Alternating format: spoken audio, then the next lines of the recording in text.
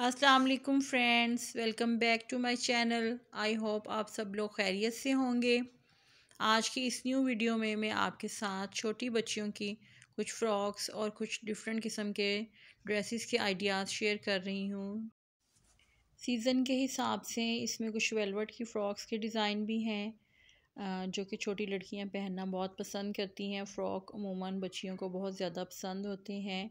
और इसके अलावा पार्टी वेयर ड्रेसेस भी हैं, अगर किसी फ़ंक्शन में या किसी शादी पर जाना पड़ जाए तो भी बड़ा मसला होता है कि बच्चों के लिए कैसे ड्रेसेस बनाए जाएँ।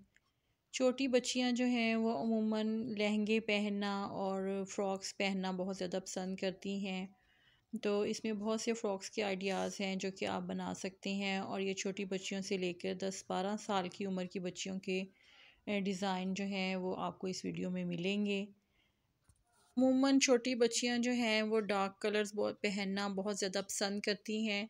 तो इस वीडियो में आपको मुख्तु किस्म के कलर्स कॉम्बिनेशन भी नज़र आएँगे, जिसकी मदद से आप अपनी बच्चियों की फ़्रॉक्स घर पर ही तैयार कर सकती हैं।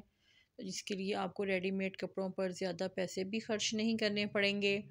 और आप घर पर ही मुख्तु किस्म के डिज़ाइन को देखते हुए अपनी बच्चियों के ड्रेसेस बना सकती हैं। और इसमें जो है, कुछ शरारा ड्रेसेस भी हैं। क्योंकि अगर किसी पार्टी में जाना हो या किसी शादी में जाना हो तो बच्चियाँ अमूमन शरारा और लहंगा पहनना पसंद करती हैं। तो इस वीडियो में आपको बहुत ज़्यादा हेल्प मिलेगी अपनी बच्चियों के ड्रेसेस बनाने के लिए।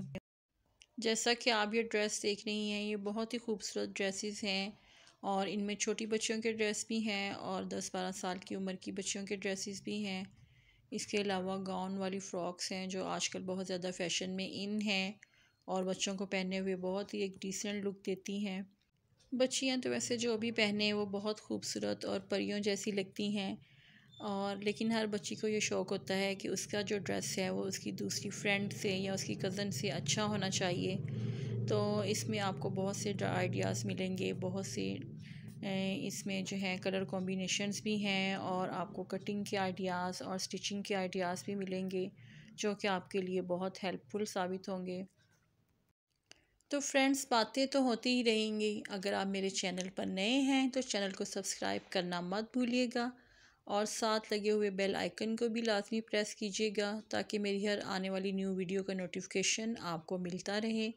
और अगर आपको मेरी वीडियो अच्छी लगे तो वीडियो को लाइक लाजमी कीजिएगा ताकि इस तरह की वीडियो मज़ीद में आपके लिए लाती रहूँ। मार्केट से जो रेडीमेड फ़्रॉक्स मिलती हैं, एक तो उनकी प्राइस भी बहुत ज़्यादा होती है और दूसरा ये कि उनका मटेरियल भी कुछ इतना अच्छा नहीं होता, यानी कि उनके कपड़े की क्वालिटी जो होती है वो लो होती है। तो इन आइडियाज़ को देखते हुए आप घर पर ही अपने बच्चों के कपड़े स्टिच कर सकती हैं या फिर अपनी टेलर से स्टिच करवा सकती हैं। तो इससे ये होगा कि कपड़े की पायदारी भी होगी और डिज़ाइनिंग भी बहुत ज़्यादा अच्छी हो जाएगी और हमारी बच्चियों को एक परियों जैसी और प्रिंसेस जैसी लुक भी मिल जाएगी। छोटी बच्चियाँ आजकल ज़्यादातर प्रिंसेस की तरह की फ़्रॉक्स पहनना पसंद करती हैं, जिनकी लेंथ भी बहुत ज़्यादा लंबी हो और जो बहुत ज़्यादा फूली फूली सी भी हों तो उसके नीचे जो है आप कैन कैन लगा कर इस तरह की फ़्रॉक्स अपनी बच्चियों के लिए बना सकती हैं, जो कि बहुत ही ज़्यादा खूबसूरत लगती हैं। इसके अलावा ये डिज़ाइन जो आप देख रहे हैं, ये न्यू डिज़ाइन है जिसके ऊपर गाउन टाइप का बना हुआ है, जो कि बहुत ही ज़्यादा खूबसूरत लग रहा है। इसको आप डिफरेंट फैब्रिक्स में बना सकती हैं, जैसा कि आप देख रही हैं वेलवेट की फ़्रॉक में भी इस किस्म का डिज़ाइन बना हुआ है। और आप जो ऊपर वाला फ़्रॉक का हिस्सा है, वो वेलवेट का बना के और इसके नीचे आप नेट के साथ डिज़ाइनिंग कर सकती हैं। और इसके ऊपर अगर आप बड़ी सी एक बो बना के या बटरफ्लाई टाइप जो होता है, उस वो बना सकती हैं। वो बटरफ्लाई जो है, वो फ्रंट पे भी लग सकती है और फ्रॉक की बैक पे भी लग सकती है, जो कि बहुत ही ज़्यादा खूबसूरत लगती हैं और बच्चों को तो बहुत ही प्यारी लगती है, जैसे कि आप ये फ़्रॉक देखें। और रेड कलर तो बच्चों का फेवरेट होता है। छोटी बच्चियाँ आमतौर पर रेड कलर की फ़्रॉक पहनना बहुत ज़्यादा पसंद करती हैं। तो फ्रेंड्स उम्मीद है कि आपको मेरी आज की ये वीडियो बहुत पसंद आएगी। और आप भी इसमें से अपनी बच्चियों के लिए कुछ आइडिया सेलेक्ट करके उनके लिए इस किस्म की फ़्रॉक्स बनवाइए। तो फ्रेंड्स फिर मिलेंगे एक न्यू वीडियो में, एक न्यू आइडिया के साथ। तब तक के लिए अपना बहुत ज़्यादा ख्याल रखिएगा और मुझे भी अपनी दुआओं में याद रखिएगा। तब तक के लिए मुझे दीजिए इजाज़त। फिर मिलेंगे। अल्लाह हाफिज़।